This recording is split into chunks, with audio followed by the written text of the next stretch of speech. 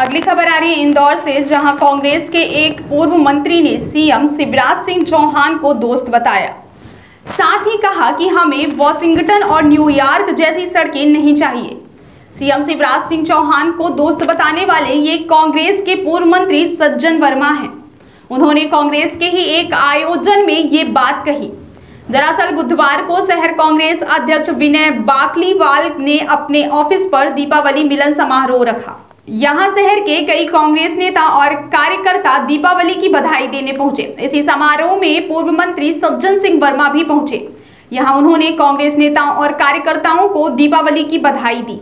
इसी मौके पर उन्होंने सीएम शिवराज सिंह चौहान को अपना दोस्त कहकर संबोधित कर दिया।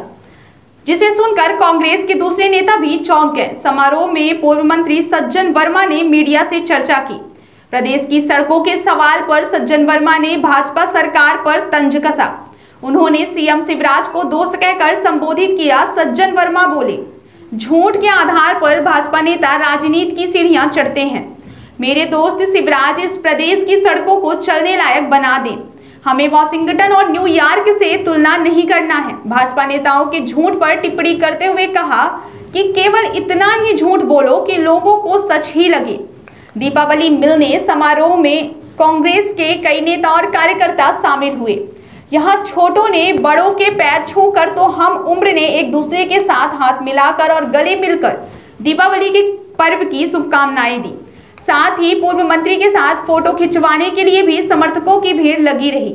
दरअसल सीएम शिवराज सिंह चौहान भोपाल की सड़कों पर निकले थे। हमीदिया रोड से शाहजहानाबाद होते हुए वे गुजरे, जहाँ सड़कों की हालत देख वे भी आश्चर्य में पड़ गए। वे अधिकारियों से बोले, ये रोड किसके पास है? पीडब्ल्यूडी, और आप लोग ये बताएँ कि सड़कों की जब राजधानी में इतनी दुर्गति है तो बाकी जगह क्या हालत होगी? उन्होंने अधिकारियों से कहा कि वे पंद्रह दिन बाद उन्हीं सड़कों पर फिर निकलेंगे। छूट के आधार पे राजनीति की सीढ़ियाँ चढ़ते हैं। जनता इनके भ्रम जाल में फंस जाती है।